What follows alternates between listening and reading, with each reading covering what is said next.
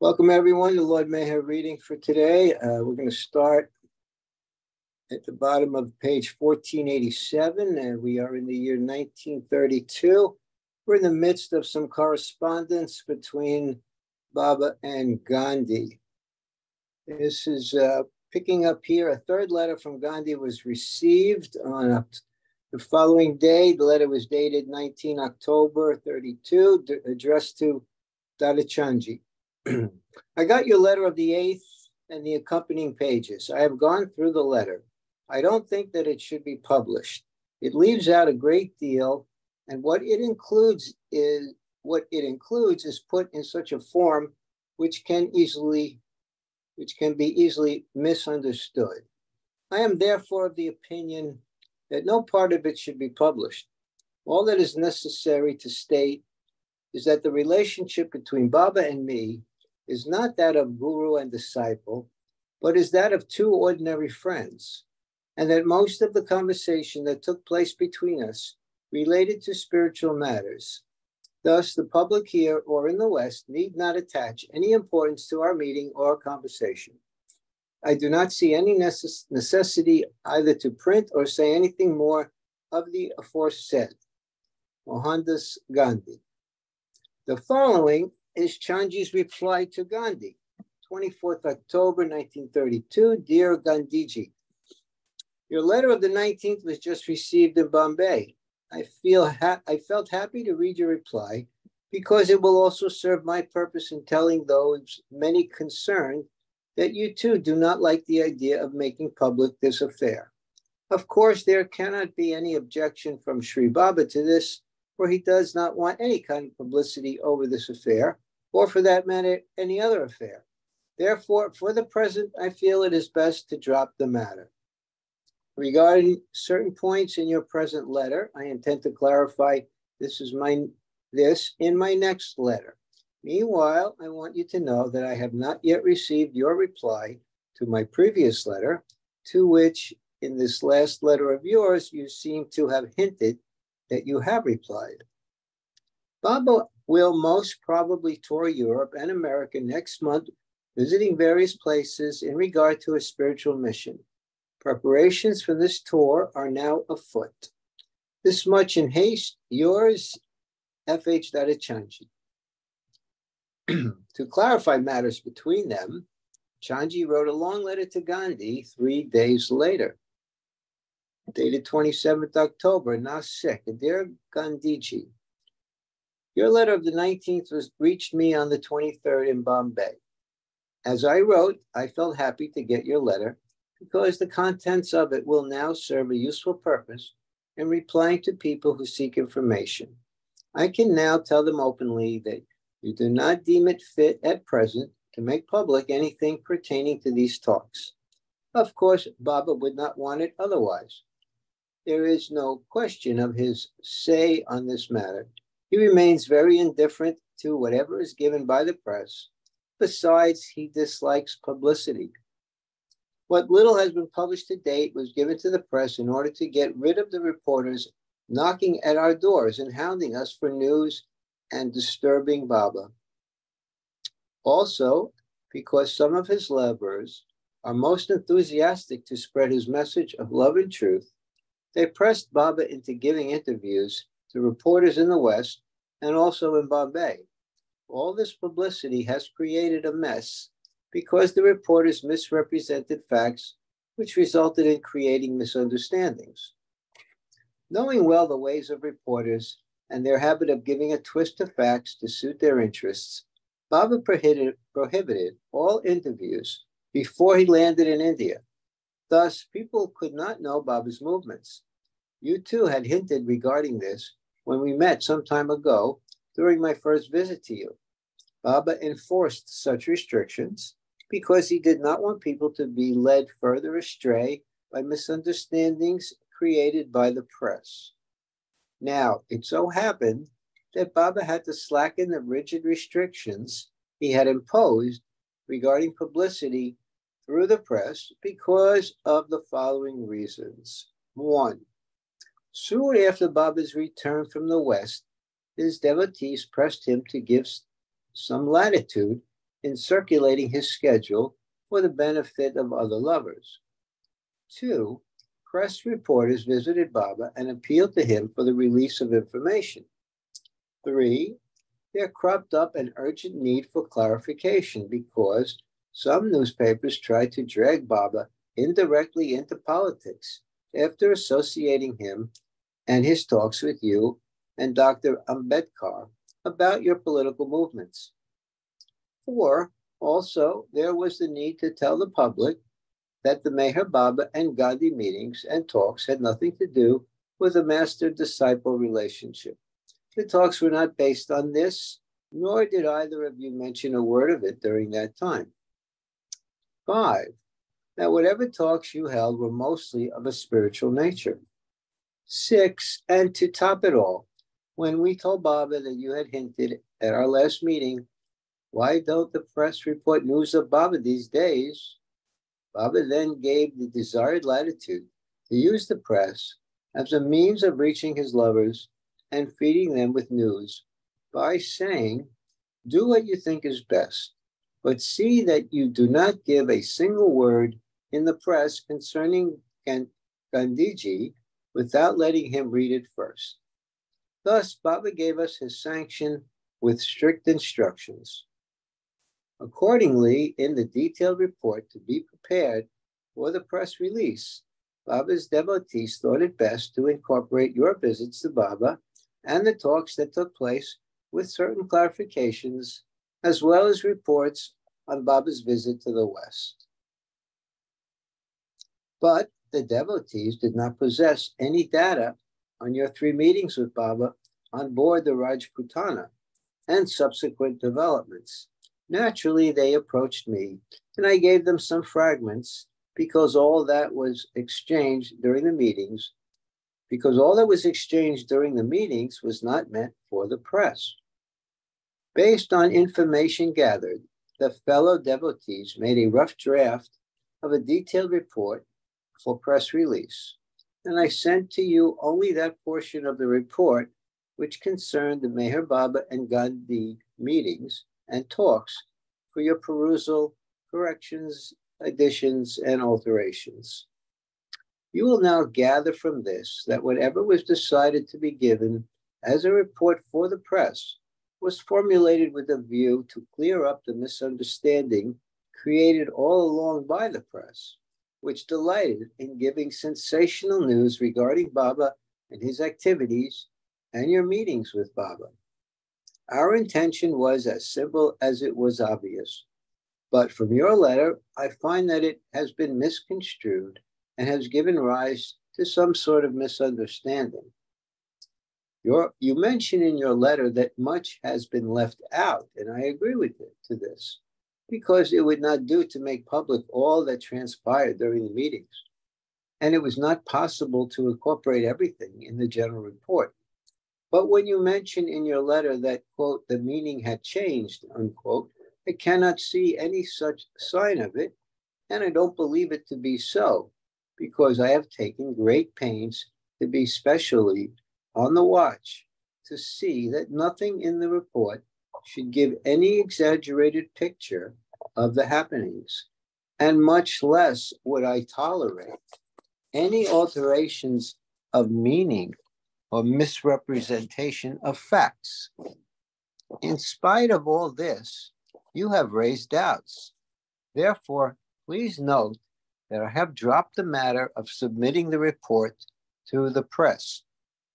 Sometime in the future, when we happen to meet, we will personally thrash out this point in order to throw a better light on the issue. Meanwhile, I deem it advisable to remain silent on this subject. And according to your wish mentioned in your letter, may you please rest assured that we will not give any report to the press. At present, we are engrossed in making preparation for Baba's impending trip to the West, either at the beginning or the end of next month. You hinted in your letter that you, quote, you must have received by now that which I wrote to you in reply to your letter, end quote. The reply, this reply I have not yet received, and I have been constantly awaiting your reply to my letter because you had written in one of your postcards saying, I shall write the reply within two to three days. Failing to receive your reply, I sent to you only today the following telegram received letter of 18th, but no reply to my last letter of 23rd September. Letter follows. Hope you have received this telegram. Okay. Let's have another reader, please. I can read. Good. Go ahead.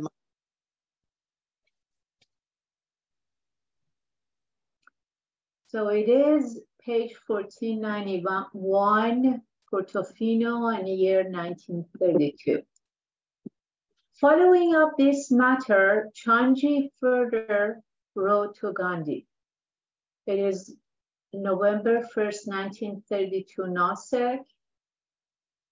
Dear, Maha, dear Mahatmaji, dear Mahatmaji, I received your letter of the 28th along with a copy of your letter of the 10th enclosed therein.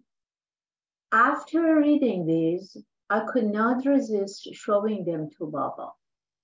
He read both and then smilingly said, It is true, there is bound to occur misunderstanding through misrepresentation of facts recollected and written down by a third person especially if reproduced by another not directly involved in the conversation that has taken place.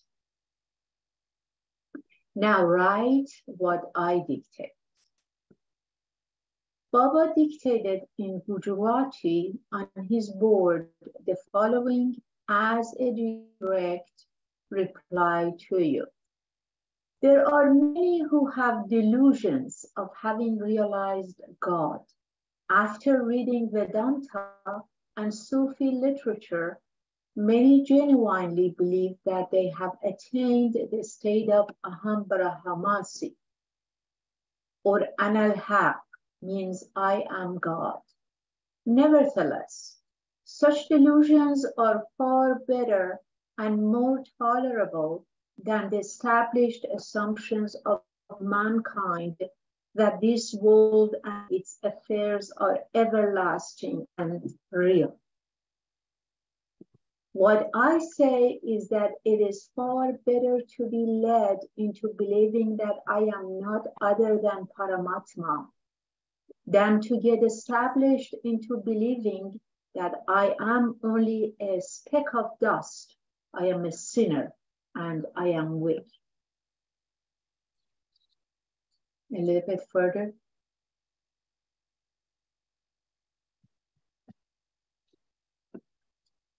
And then quote again. But there are also some heroes who continually experience within themselves and, all, and in all others the eternal one. And they are once and for all for all time free of the delusions. These who have realized the truth and have continual experience of it can give to the others the experience of the eternal one residing in them.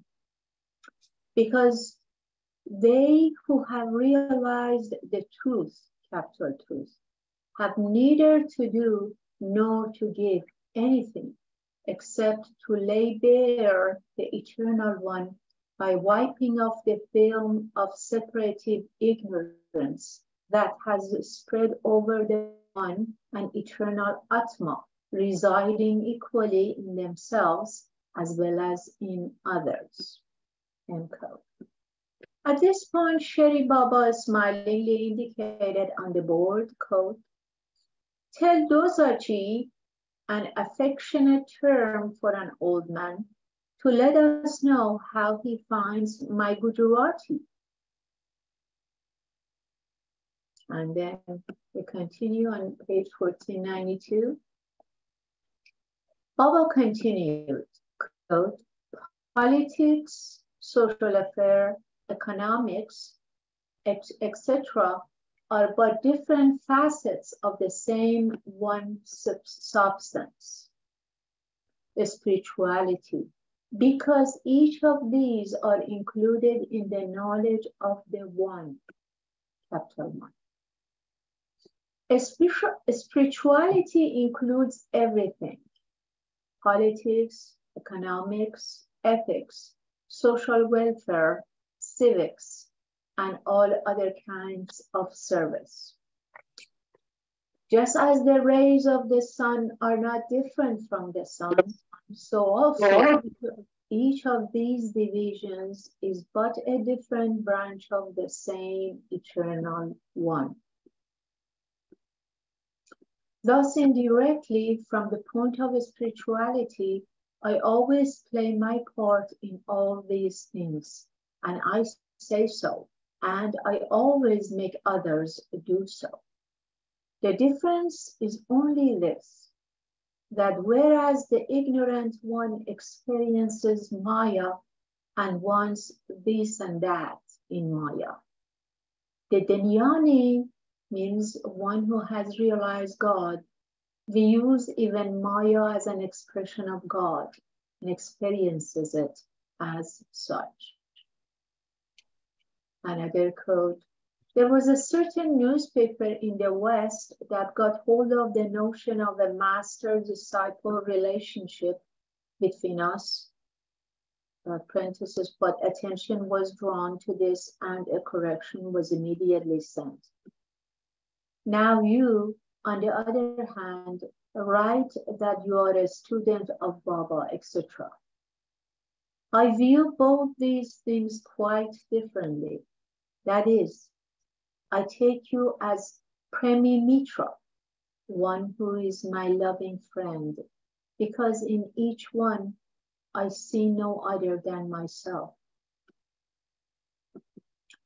Thus, whose guru can I be, and where can the chela or disciple be? According to me, of all friends, he alone is dearest, who remains infinitely restless for truth. But tell Dosaji that he cannot thus wriggle out, wriggle out of his promise to help render my articles in Gujarati. Because when I had agreed to his suggestion to get all the articles rendered into Gujarati, and he said that he should check and correct them from the point of view of language. He had then said that he would definitely give his help as much as he could in this work. He could not have forgotten this. When we happen to meet again, we will some more, we will have some more fun. This reply, jotted down word by word by me, is exactly as Shri Baba dictated through his alphabet board. And for, from myself now, I have a request, and that is that you will please reply to this letter because I believe that there has cropped up a misunderstanding in the past between us while exchanging lengthy correspondence. I have a feeling that as a result of this, Baba is probably somewhat aggrieved page 1493. And although Baba has never once even hinted or blamed me for, for it, nevertheless, it has made me feel uneasy for quite some time. And I believe that you reply to this letter, that your reply to this letter will relieve me of this feeling. Sometime when an opportunity arises for a personal interview with you, we will both have an occasion for explanations. How brave Chanji is. Please note that Shri Baba will be leaving India for the West within 15 to 20 days. Yours, Rose H. Dadachanji. Gandhi replied to Chanji's letter, dated 3rd November 1932. Yeravda Mandir, Brother Shri Dadadanchi, Dadachanji, received your letter today. You wrote, quote, Baba said, unquote, and drew a red pencil line quite thick under the word said. If Baba has not said through the board, but has said with the tongue, then may I not take it that my letter has the power, power to make Baba break his silence? And thus, one is driven to accept that the age of miracles has not yet passed away. Please tell Baba that that which he dictated that which he dictated on his board in Gujarati was sweet of him indeed.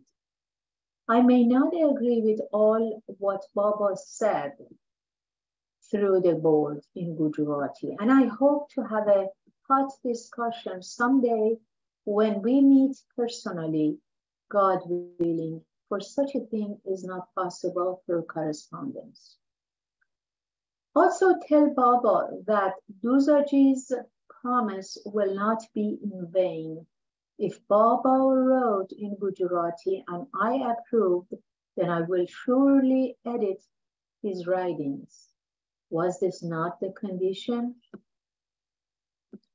To have heard from you that spirituality includes everything politics, economics, ethics, social, and civil and all other kinds of service is more than sufficient for me. I liked the claim of friendship you put forth, but I feel that it's quite unnecessary to garnish friendship with the term of quote unquote loving friend, because a friendship bereft of love cannot endure. A friendship bereft of love cannot endure. You have no cause to feel disheartened. Misunderstandings do crop up frequently, but where there is a will to clear up all misunderstandings, there cannot be any obstruction created nor harm done. Where will you all go and for how long on this trip to the West? And do tell Baba that I cannot understand all this Gadum Dad or Hustle Bustle Touring. And then he signs as Mohandas Gandhi. In reply to, Kanji, to Gandhi, Chanji wrote on November 8, 1932 from Nasik, Dear Mahatma Ji, received your letter of the 3rd. Shri Baba felt happy to read this, its contents. In reply, Shri Baba has directed me to convey to you that whatever interesting things you wish to impart concerning yourself could be done better personally when a meeting with you take, takes place. Communicating through letters make these expressions appear dry and the written words then lose interest and charm. They cannot carry with them the same flavor with which they are seasoned as then expressed as when expressed personally. Therefore, Shri Baba also agrees with you and says that when you are with him sometime, it will afford an occasion for a grand time together. This time there is the likelihood of our Western tour being prolonged for about six months. Baba intends leaving Bombay on the 21st for Italy, Germany, and England. And after that, he also intends to visit America. The cause of such hustle bustle world tours may be attributed to the fact that these have become absolutely necessary in view of the increasing love and devotion of both his Eastern and Western followers who equally need more of Baba's physical presence. The code of capital love is absolutely different and unique. Baba will have to spend six months a year in the East and six months in the West. This appears inevitable from all outward indications for his mission of establishing a spiritual link between the East and the West and of consolidating this spiritual get together as a basis for his spiritual work. Misunderstanding has once again arisen because of my, my having written to you in my last letter the words Baba said. This should not be taken to mean that Baba spoke with his tongue. It is to be understood as Baba having said with the help of the alphabet board. How can it be possible to speak without breaking the silence? It is now a routine affair during these many years of conversing, of corresponding with others about Baba to mention very frequently, Shri Baba said, or Shri Baba says, this is always understood as Baba having said by means of his alphabet board. Contrary to what you write in your letter, none of us here have ever underlined with red pen pencil the word said in my letter. On the other hand, we often found red and blue pencil and ink marks and scratches in your letters received from your end. We took for granted that this could not possibly be done by you. We now realize that you gave importance to the words Baba said, especially because you found the word said underlined in red pencil. I think somebody else should read. Okay, let me finish the lecture. All this explanation will make you understand these points quite clearly. Yours from Rose H. Dadachanji. Okay, thank you. Um, Eva, would you like to read? Sure. Okay, pick it up here at the PS in that last letter. Okay. P.S. In the letter to you, Baba mentioned you as Premi Mitra, a loving friend. Regarding this, Baba says that his superfine Gujarati has thus rendered into Gujarati the two English words, dear friend. Baba also says that he will continue to mention you as such because having taken you as his friend, he looks upon you as a prem lover of God. Baba sends his love and blessings. The necessary preparations having been made and visas obtained, Baba and four Mandali left Nasik for a fourth trip to Europe.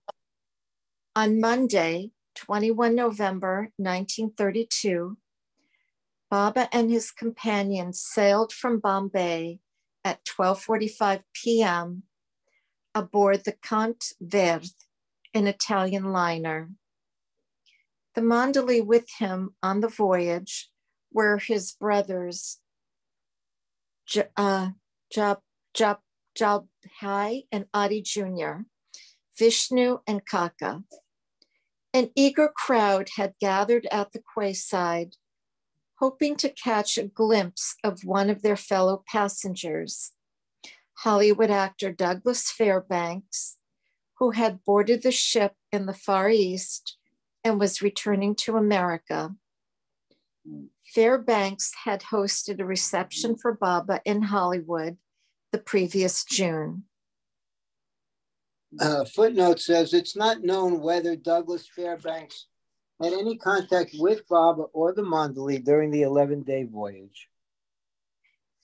Once at sea, Baba issued the following message to the Indian press India is a spiritual country. It possesses the most fortunate and unique position in the world, being the land of saints and spiritual masters since ages.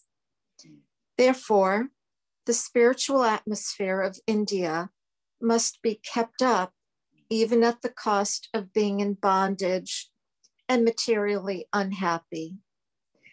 It does not matter how much India suffers as long as its spiritual power and value are retained.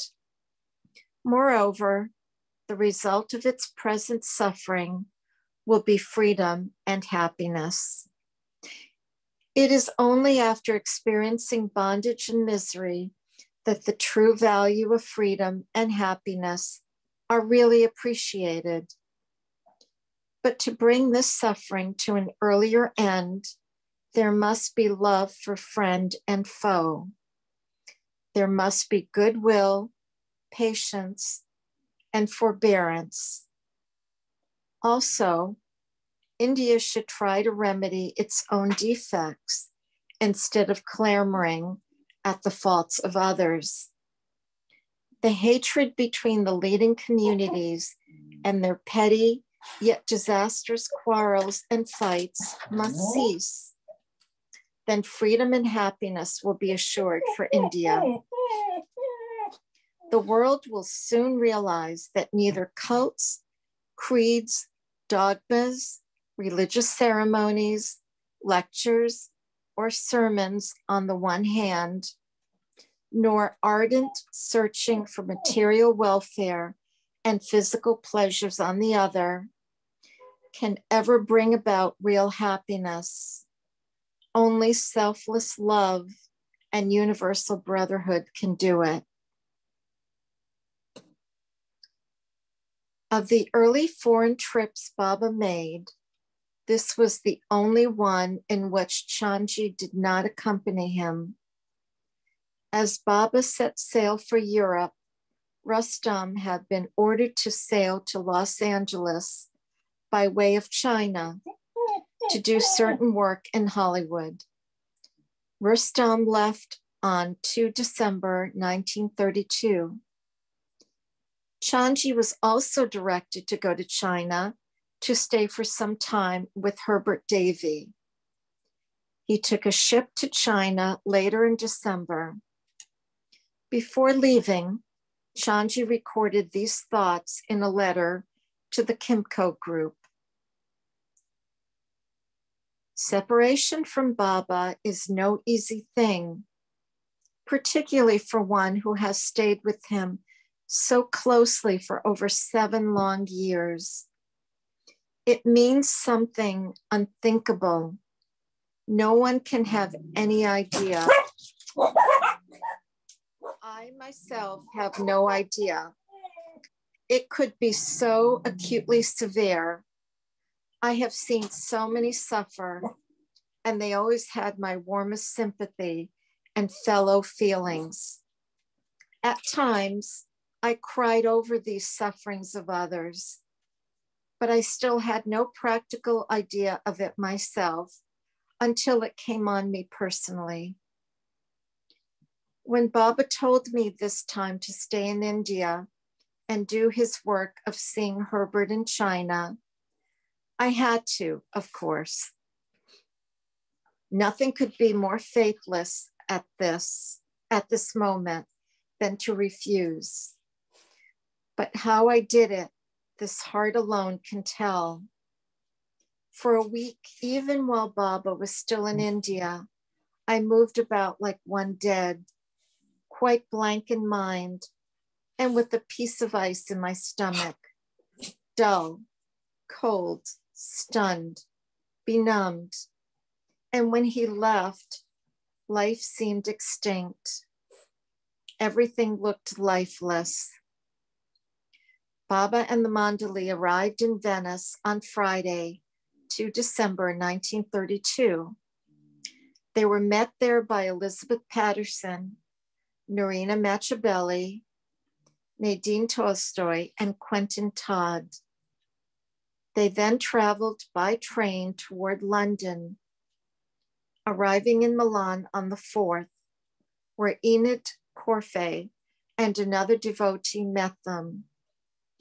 The group stayed overnight at the Hotel Diana, leaving at 5 p.m. the next evening.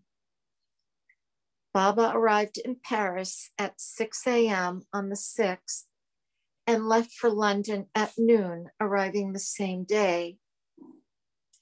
Meanwhile, Kitty Davy and the others in the Kimco group had arranged for Baba's seven day stay at the Knightsbridge Hotel.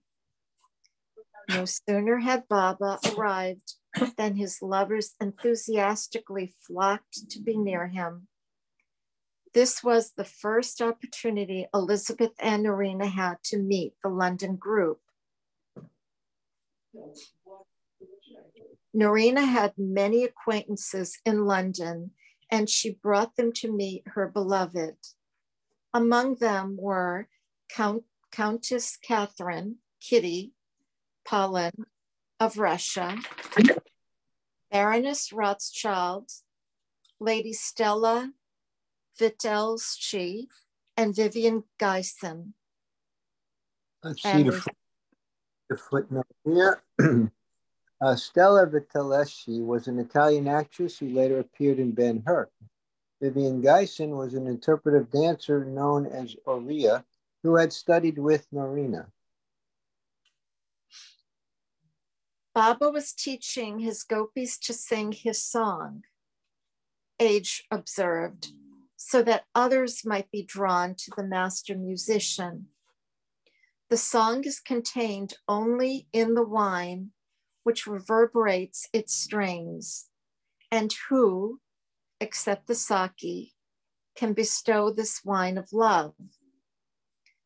Baba explained to his lovers that he wished them to come to India the following year. And for the first time, he spoke to Kimco about Mehera and her intense, pure love for him. He gestured, Mehera is my Radha, and her life consists of my happiness. When you see her, you will have an idea of her love for me. Her love always keeps me happy.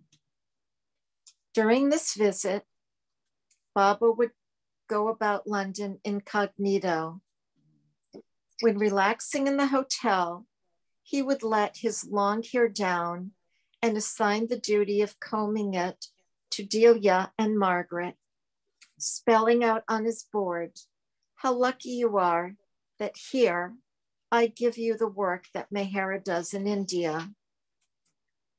On more than one occasion, there was a discussion about the idea of making a film of Baba's life. This project particularly interested Norina, who had pursued it with different filmmakers since Baba had mentioned it at the Harmon Retreat in 1931. While Baba was in London, Kitty was always busy attending to different matters, serving others in a selfless manner. Delia was at the hotel full time acting as a secretary, making appointments for interviews, and answering the telephone. Baba and a group usually went to movies in the evening, and he was particularly fond of the comedies of Charlie Chaplin, Laurel and Hardy, and Fatty Arbuckle. During this time, an intellectual Indian Brahmin named Chak Chakradhar, Dharmanidhar Desh, Deshmukh, 24, was studying for his doctorate in philosophy in London. Deshmukh came to know of Meher Baba's presence in the city through the accounts in the Daily Herald. Baba had actually inwardly contacted him four months earlier as Deshmukh Deshmukh. Deshmukh. Oh, thank you. Deshmukh dreamed he saw Baba standing before him. In the dream, Baba spoke to him. You are closely connected with me. You are a good man. Seeing him hesitating to accept this, Baba asked, Are you not? Deshmukh had replied, Good or bad, please take me up into you. Baba's response was an immediate wave of love and light. It was like bathing in cool, clear moonlight, Deshmukh later related. When Deshmukh saw a photograph of Baba in the newspaper, he recognized him as the one who had already won his heart. He was further attracted to his Lord and longed to have his darshan. Deshmukh later recollected, as I looked at the photograph, I found in his eyes just that assurance of divine guidance which I had been looking for. The expression in his eyes brought to me the tidings of truth from that far off land unseen, where there is the final realization of the eternal and infinite source and goal of life. Deshmukh came to see Baba at the Knightsbridge Hotel on Thursday, 8 December 1932. He brought with him Mrs. McGregor Morris, a professor, and Mr. N.C. Kelkar, a noted Mar- Marathi writer and politician who had come to London for the Roundtable Conference. During their meeting, Baba asked young Deshmukh, What do you do? Deshmukh explained that he was studying philosophy and what is the meaning of philosophy, Baba? inquired mischievously. Deshmukh answered, It is a science which reveals the hidden reality. Smiling, Baba replied, To me, philosophy is that which makes a simple thing difficult. Meeting ba- Meher Baba face to face had a profound effect on Dr. Deshmukh, as he was later called. For this darshan taught him the true meaning of philosophy. From then on, he became an ardent disciple and proved helpful in Baba's writing and publication work. Baba's continuous search for the ideal or perfect boy began in the Meher Ashram in 1927 and lasted until 1958. A search for a suitable boy for Baba's personal work was inevitably conducted wherever he went. Over the course of these years, many boys were brought and all were returned, with the exception of one or two, whom Baba retained for a short period. And again, at this time in London, Baba gave the duty to certain ones to go out and search for such a boy. A few English youngsters were brought to Baba at the hotel. One of them was very drawn to Baba, and he was kept for three days.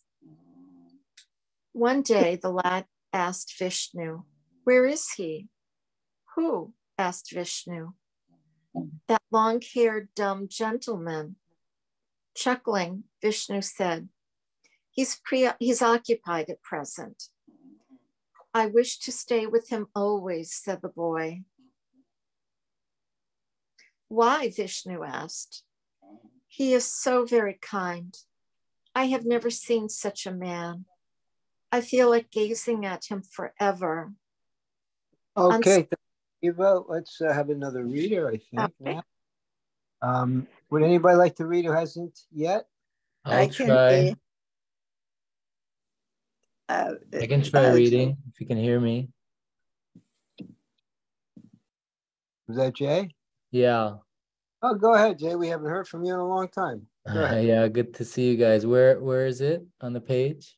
Right on the top, and Rosalie, you'll be next. Uh, starting with um, on Sunday.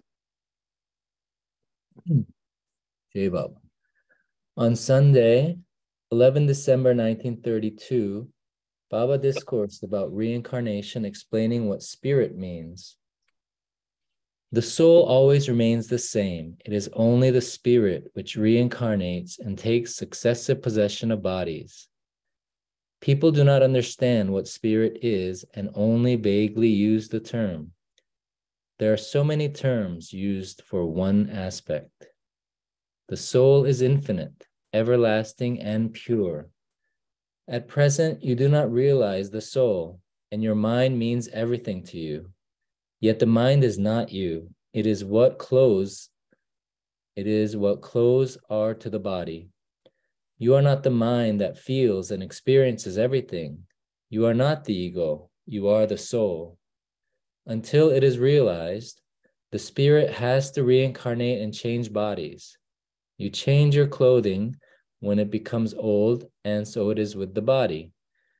You all have had so many bodies, yet your soul never changes.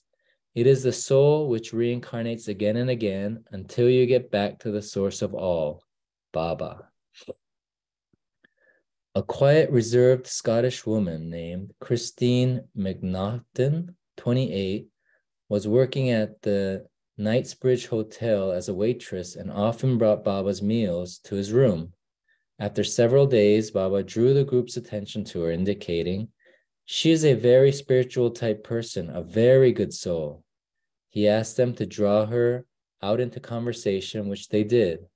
He later informed Norina, whom he had been coaxing to pay attention to Christine, that the girl had been her daughter in a previous lifetime.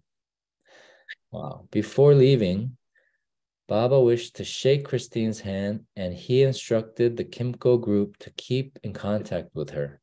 When Baba later called the group to India, he specifically instructed them to bring Christine along, even to pay her fare and supply her with the necessary clothes and pocket money.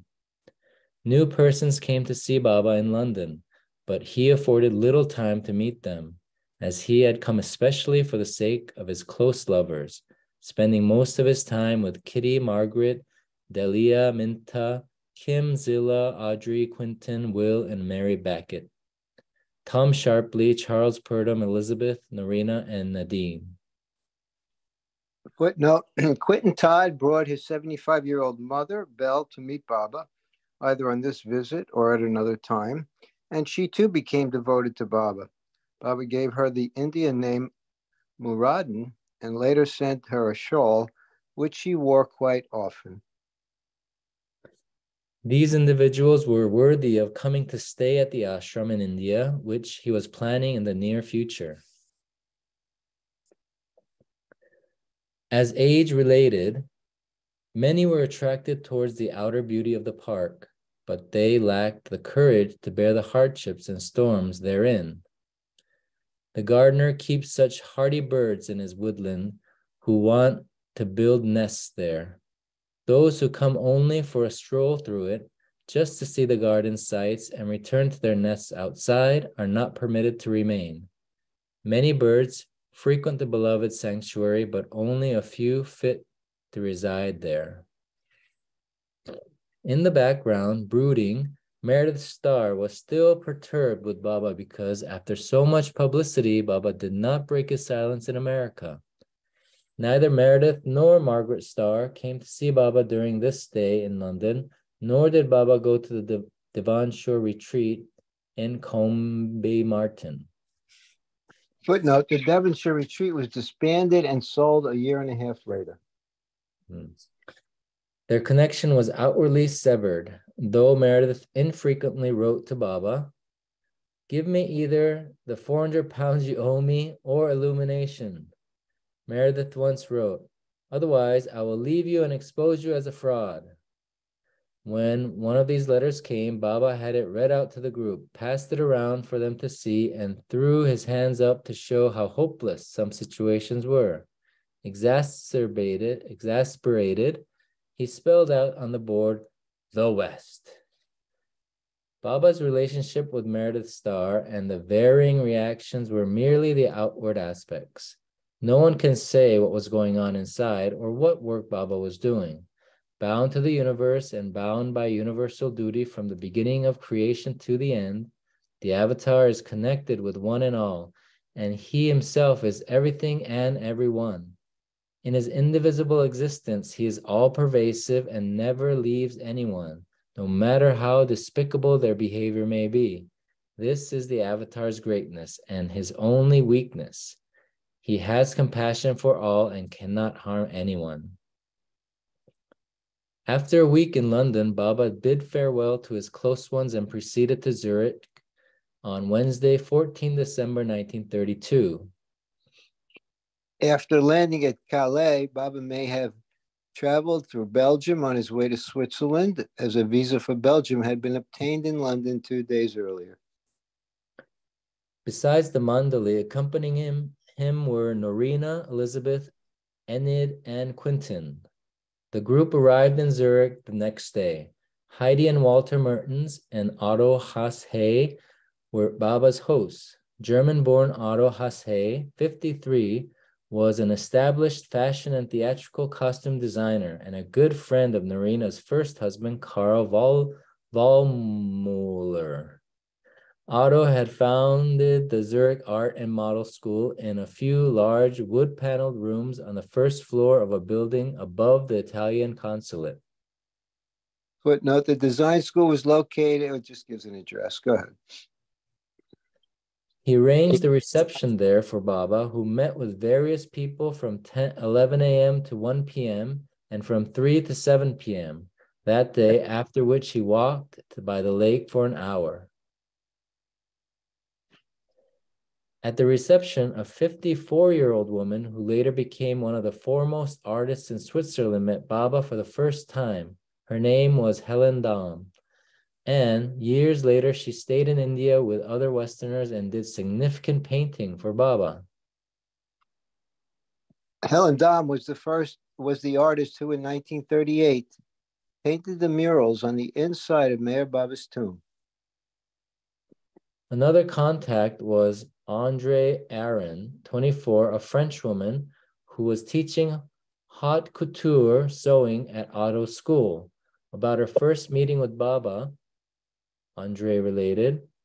When Baba arrived, I did not really know who I was going to meet. I did not know who Baba was. I almost expected to see a fortune teller or someone who could tell me about the future. Professor Haas-Hay introduced him to me, and I was quite moved and very open to him. He looked me in like a child with real love and kindness. He took me in like a child with real love and kindness. That is something I will never forget. Really, it was wonderful. It's love. That's all you feel. You no longer exist. You only think about Baba. That's what I felt. But it took me five months of reflection to really know that I loved Baba. The love, kindness, and devotion, a quality of being I have never experienced with anyone else, a human touch of this quality.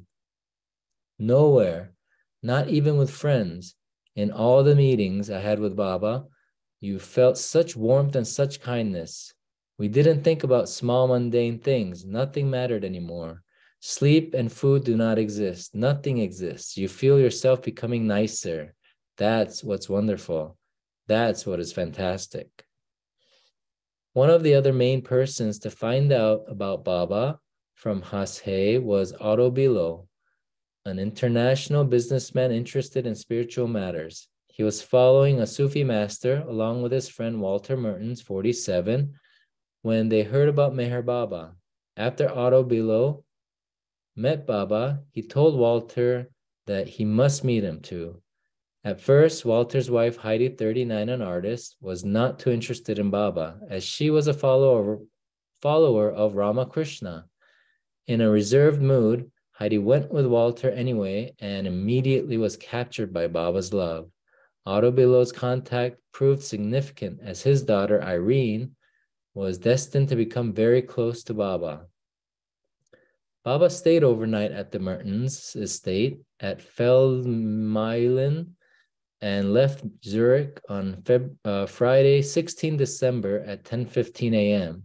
He arrived in Genoa that night at 9:15 and stayed at the Savoy Majestic Hotel, where his future activities were discussed with Norina and Elizabeth. Certain Westerners were to proceed to India soon, and Baba planned out their visit in detail.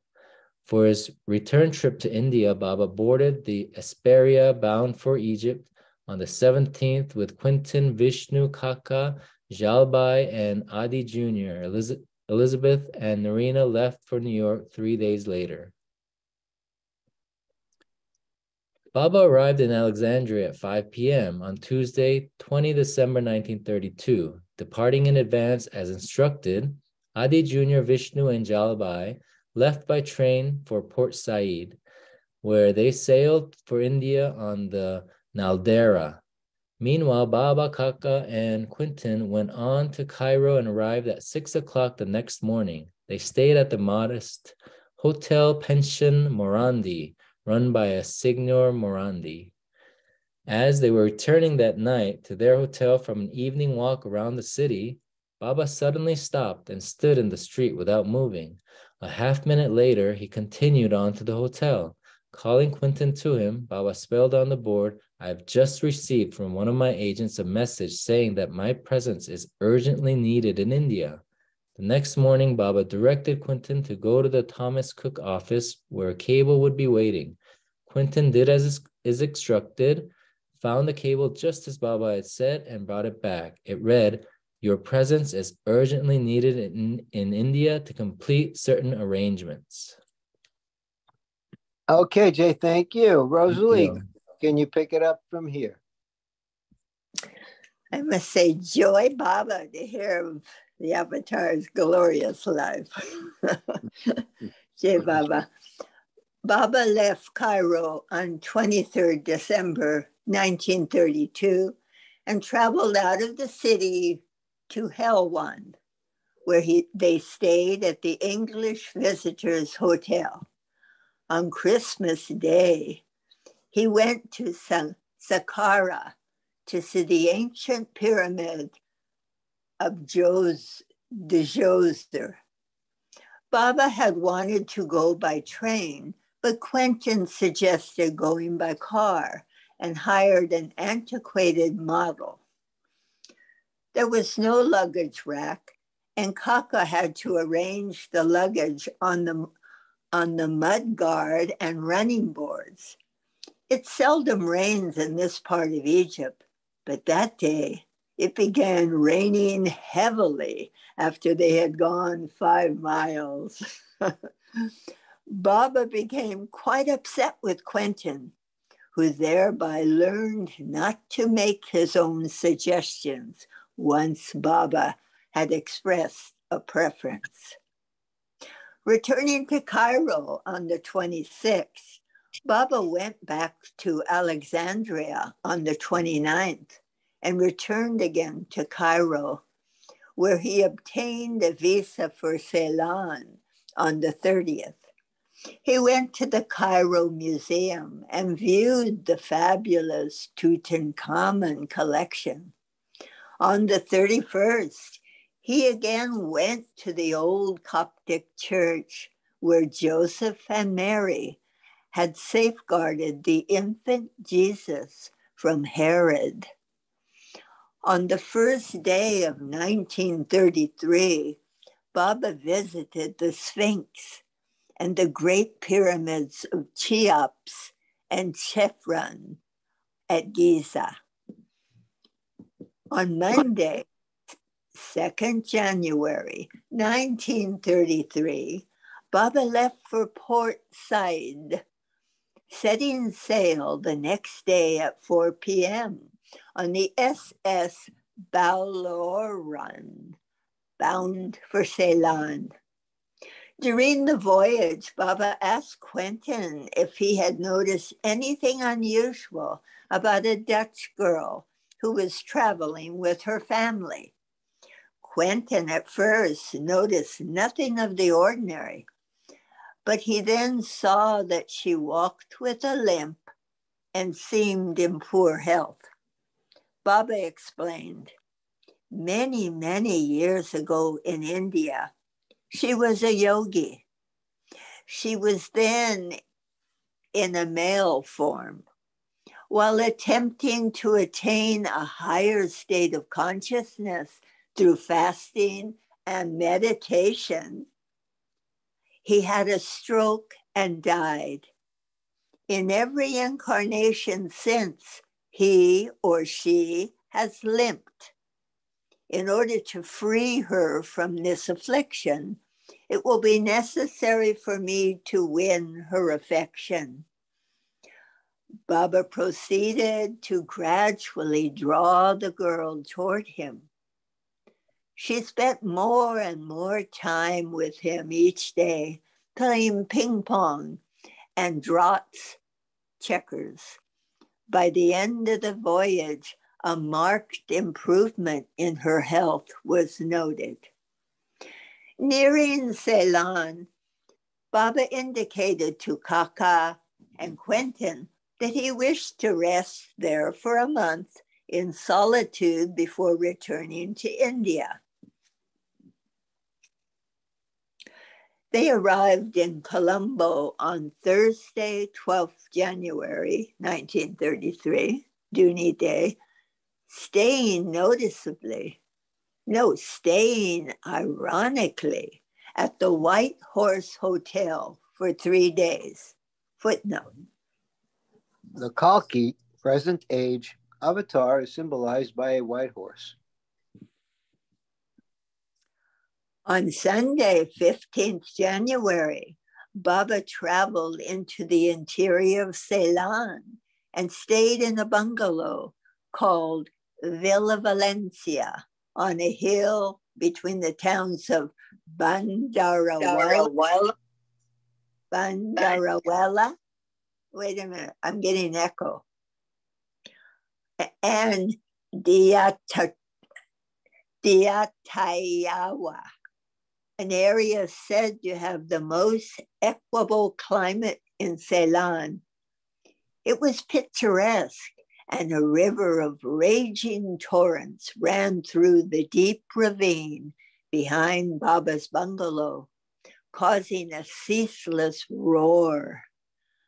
After settling in, Baba directed Kaka to find a spot where Baba could sit in seclusion for 24 hours, as he had done in Assisi.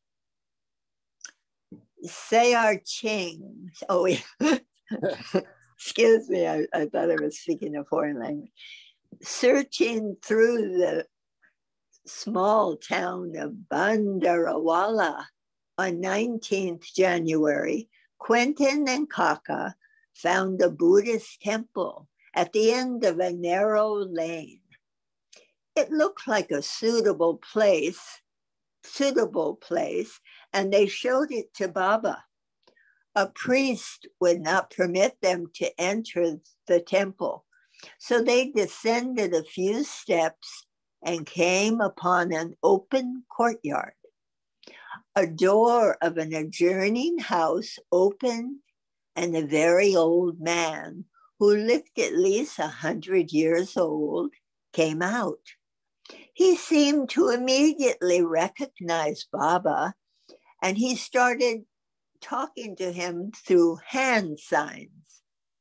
Baba gestured back, quotes, I want a room where I can be in seclusion without being disturbed for 24 hours, end quotes, says Baba in gestures. The old man instantly understood and asked the Buddhist priest to open the temple and make a room available to Baba. Baba, however, changed his mind. Later, Baba remarked, and Baba says, that old man was on the fourth plane. I will push him to the fifth plane when I leave Ceylon. He is my agent in charge of central Ceylon, end quote. Baba's wish to sit in seclusion was perhaps only a pretext for contacting this advanced soul. In the interim, Adi Sr. came to Ceylon on 19th January 1933 and returned to India after staying two days with Baba. In Bandarawala, Wela, on 26 January, Baba met a reporter from the Ceylon Observer who questioned him about Mahatma Gandhi and India, religion, the purpose of his silence, and why he had gone to America. The following is Baba's response. Look at Gandhi's passive resistance movement. From the spiritual point of view, it is wonderful because it embraces sincerity, truth, and nonviolence. But ask me its value as a political weapon. I have nothing to do with politics. As to the untouchability issue, I love the untouchables. They are close to my heart. Recently, I summoned their leader, Dr. Ambedkar, and advised him what to do.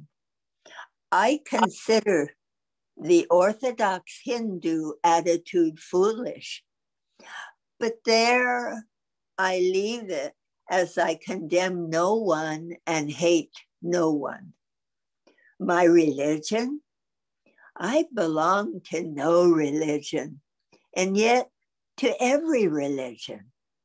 Love is my principal agent. The infinite one can be attained only through love and sincerity. I do not believe in dogmas and ceremonies. God can be realized in every phase of life art, science, nature, and beauty. That is my religion. I have been silent for eight years. It is not a vow, but it has been undertaken for spiritual lessons. Oh, wait, spiritual reasons. Shortly, my mission of preaching will begin. My reason for starting in America is that America, being the most deeply engrossed in material things and suffering the most in consequence, is the soil on which a new spiritual rebirth will first take place. America requires only the guiding hand of a master to redirect its material powers to the heights of spirituality. Your Ceylon is a most beautiful country. I shall visit it again. I will be leaving for India soon, and then I shall return here on my way to America via China and Honolulu Will I found an ashram here? Perhaps. Baba Kaka and Quentin returned to Colombo by the 27th of January. Baba fasted and remained in seclusion there on the 29th.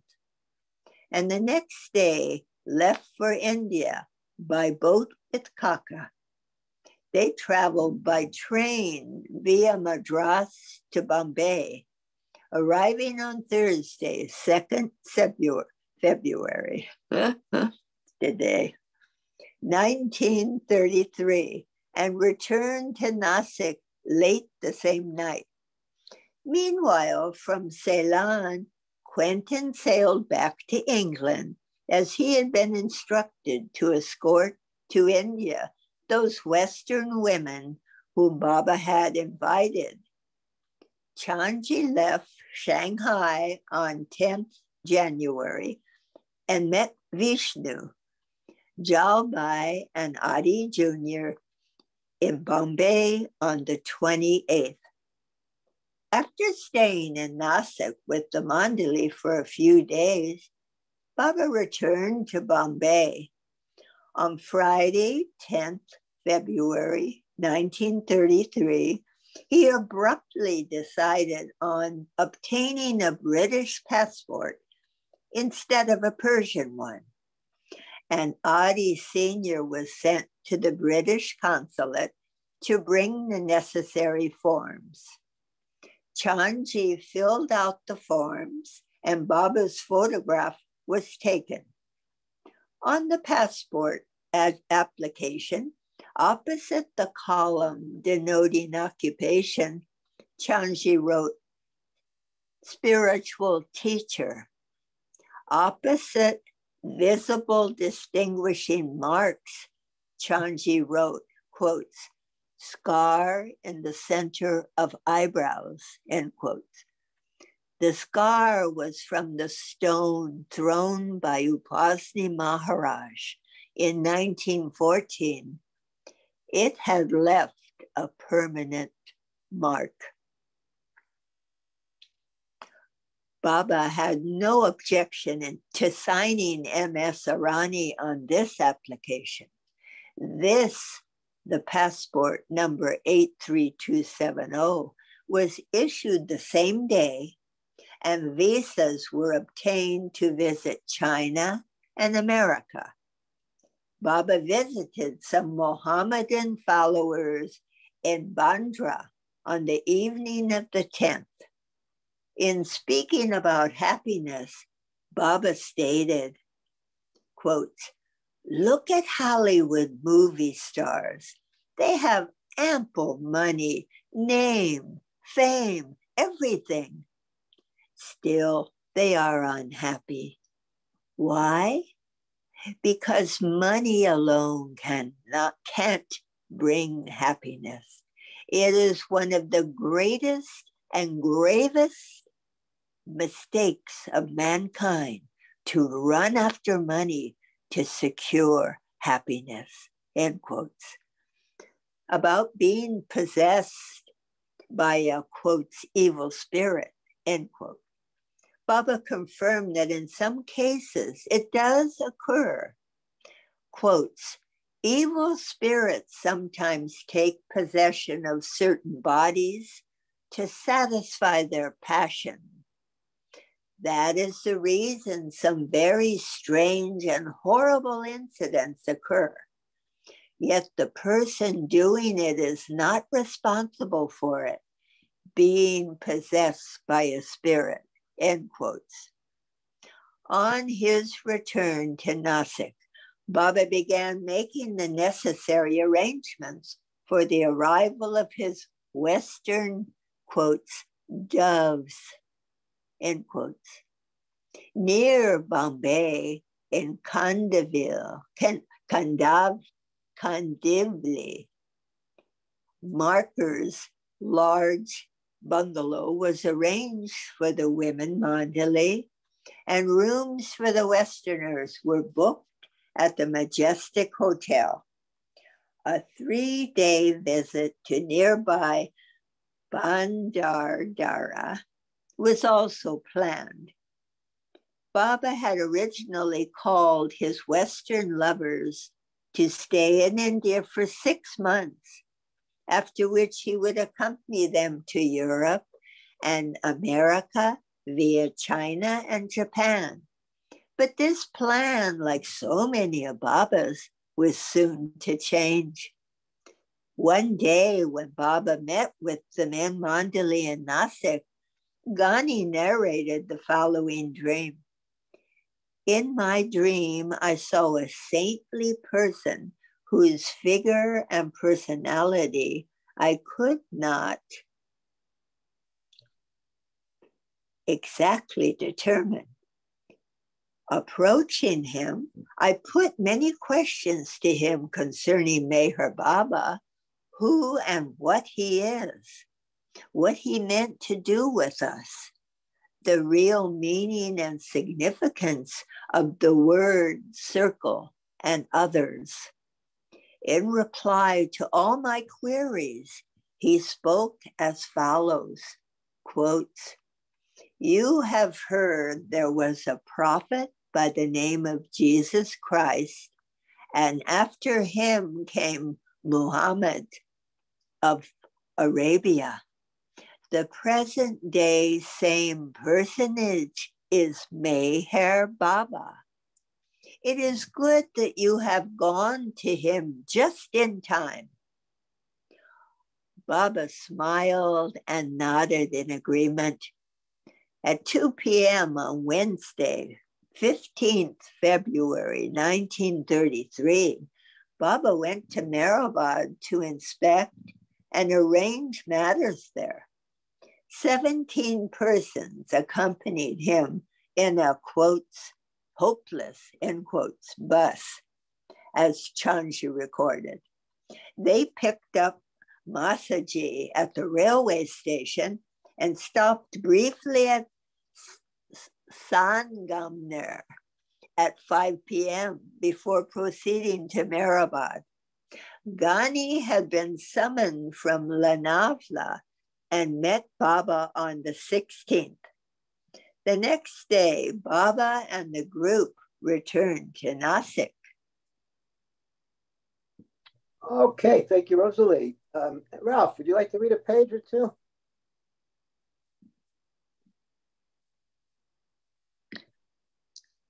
Next page. Here I am. Okay, found you.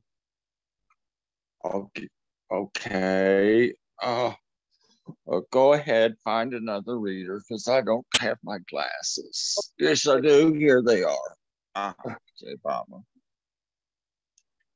Oh, Portofino.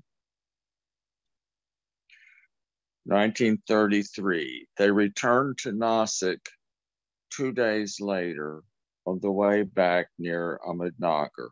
Baba appeared to avert a serious accident when he thumped Adi Sr., thumped the driver on the back just as the bus veered out of control.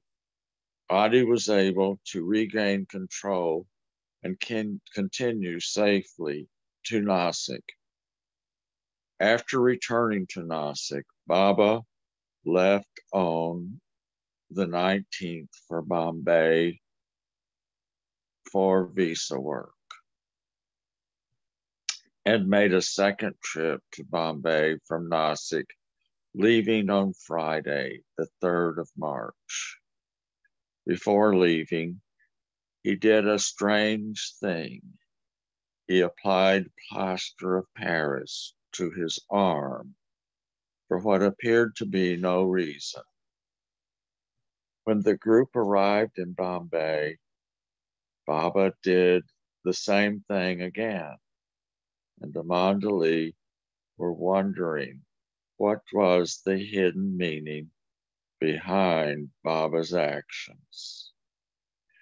Late that night, Chanji's two year old nephew, Dara Dadachanji, had a serious accident in which he was almost killed.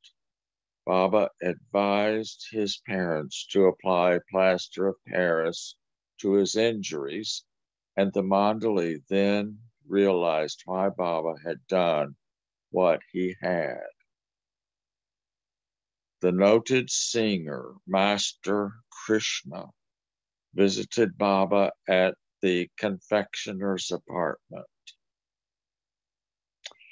as did Savak Mehta of Aden, who had met Baba in September when the Victoria had halted briefly in Aden. Baba paid a visit to the district of Bhor in on Sunday, 5th March 1933, having been invited by the Maharaja there. He stopped first at Lonavala, where Ghani and Tabali arranged tea and breakfast. Who is that? a new person, Tabali? Have we heard that name? I don't think we heard it. No. Okay. After a brief stop at Nilu's in Pune, Baba went on to Bhor, B H O R, where he was received grandly, and hundreds came for his darshan. Baba went to Kolhapur the next day, meeting with his lovers at the school there before returning to Nasik. On the 18th of March, 1933, Baba revealed that the perception per excuse me perception of movements and events in the world was different from that of an ordinary human being. Baba revealed that his perception and movements and events in the world was different from that of an ordinary human being. To me, all things appear moving very fast and quick, he stated. Otherwise, I would not be able to see things in time for my work. He did not explain further. Bayram, with his fiancee Perrine, Memo, and Mani arrived in Nasik on the 15th. Bayram and Perrine were married at the Zoroastrian fire temple in De, De, Deoli. D E O L. Dio, Dio, Deolali. Deolali. My glasses are dirty. Somebody else better read. J. O. Yeah. J. Okay. Bob. it up. In Deolali, a week later, 1st March. The wedding was much to Memo's delight. A pandal was erected near the cinema and decorated with colored lights and flowers.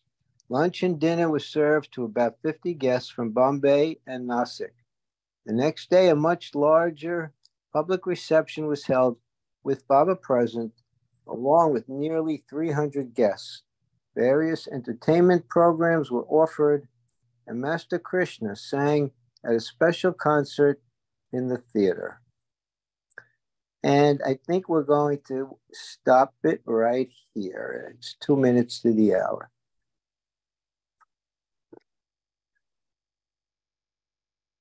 Okay, that will end the reading for now. We'll stop recording. Marvin, uh,